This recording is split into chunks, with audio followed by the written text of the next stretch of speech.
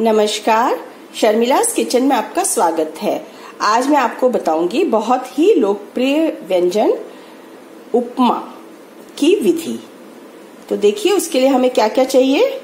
हमें चाहिए एक कप सूजी, यानी एक बोल सूजी। और ये है एक छोटा आलू कटा हुआ। ये एक प्याज इस साइज़ का मैंने काट के रखा है, लंबे लंबे लच्छे जैसा। आप इसे छोटा छोटा भी काट सकते हैं। तेल आवश्यकता अनुसार हम लेंगे। एक छोटा सा गाजर का टुकड़ा काटा है। चार मैंने काजू बीच से काटे हुए हैं, आधा किया इसे। आप इसके बदले मूंगफली भी ले सकते हैं। ये है राई, नमक, एक नींबू। ये है एक चम्मच उड़द की दाल, धो ली है इसे। इसमें देखिए, दो हरी मिर्च काटी है और थोड़ा सा अदरक कद्दूकस किया है। ये थोड़ी सी हमने ली है मटर। और ये पानी लिया है। पानी हमने सूजी से तीन गुना लिया है लेकिन हम इसे डालते हुए आवश्यकता के हिसाब से उसमें डालेंगे। तो चलिए हम उपमा बनाना शुरू करते हैं।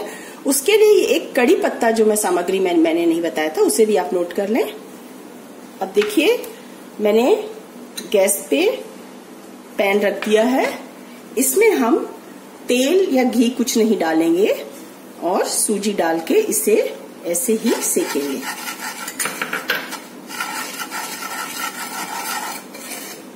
धीमी आँच पे। जब सूजी डाली थी तब ये मीडियम आँच पे था, अब मैं थोड़े से मैंने धीरे कर दिया है। इसे हम सेकेंगे। सूजी अच्छे से सिक जानी चाहिए, पर रंग उसका हल्का होना चाहिए, ज़्यादा तेज नहीं। सूजी हमारी धीमी आँच पे सिक रही है। हम ऐसा करेंगे, इसे पीछे वाले पैन में शिफ्ट कर देंगे। देखिए, और आँच एकदम धीमी रखेंगे और सूजी का ध्यान भी रखेंगे। और यहाँ पे हम एक दूसरा पैन रखेंगे। ये देखिए, सूजी एकदम धीमी आँच पे सिक रही है। इसमें हम उपमा का तड़का बनाएँगे। तो देखिए, उसके लिए मैं एक चम्मच से थोड़ा ज़्यादा हल्का सा डालूँगी तेल। सूजी में चला रही हूँ। साथ ही साथ और वो क्योंकि एकदम मैंने सिम पे की हुई है। और ध्यान रखिए, साथ ही साथ उसका देखिए, तेल हमारा गर्म हो गया है। इसमें मैं डालूँगी जो मैंने हरी मिर्च और अदरक काट के रखा हुआ है।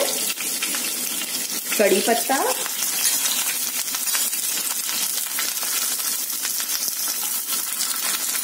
आधा चम्मच राई।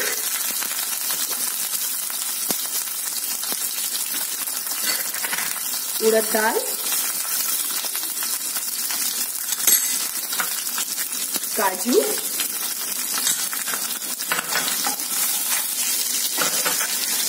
अब मैं इसमें डालूँगी प्याज। इसको हल्का सा सेकूँगी और हालाँकि ये धीमी आँच के एकदम, लेकिन इसे भी मैं चलाती रहूँगी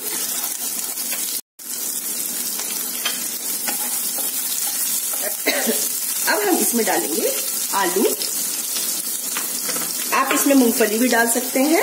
और मूंगफली डालने के लिए आप ऐसा कीजिए, उसको तल के पहले निकाल लीजिए नहीं तो जब ये इसके साथ वो सौगी हो जाती है। देखिए, इसे थोड़ी देर हम सीखने देंगे। दो मिनट। और ये मैं सूजी चला रही हूँ।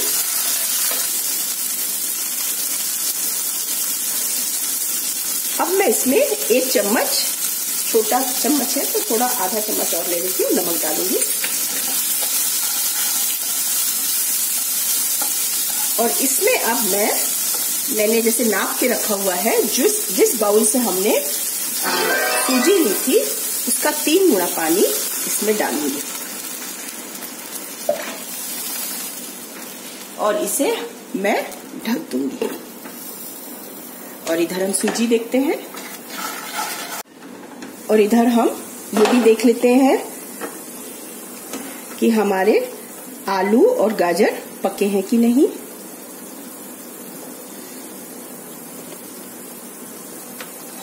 मैं इसमें थोड़ा सा पानी और डाल रही हूँ, करीब आधा बाउल, और इसे पकने देती हूँ। और सूजी चला सूजी की आँच हमने मध्यम कर ली है और इसको इसमें दो मिनट और सेक के हम बंद कर देंगे। देखिए, अब हम इसमें नींबू निचोड़ देंगे और मैंने सूजी बंद कर दी है। अब हम इसमें सूजी डाल देंगे। देखिए धीरे धीरे करके।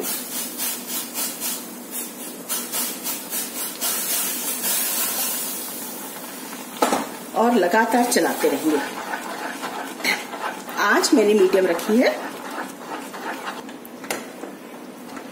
बिगनर्स को मैं ये कहना चाहती हूँ कि नमक थोड़ा कम डालें, क्योंकि फिर आपकी आप इतनी मेहनत से कुछ बनाओगे, अगर तेज नमक हो गया। क्योंकि बाद में नमक ऐड किया जा सकता है। आप बनाते समय बीच में चख भी लीजिए और आपको लगे कि हाँ कम है तो आप ऐड कर सकते हैं। पर अगर आपने ऑलरेडी ज़्यादा डाल दिया तो फिर बहुत दिक्कत हो जाती है।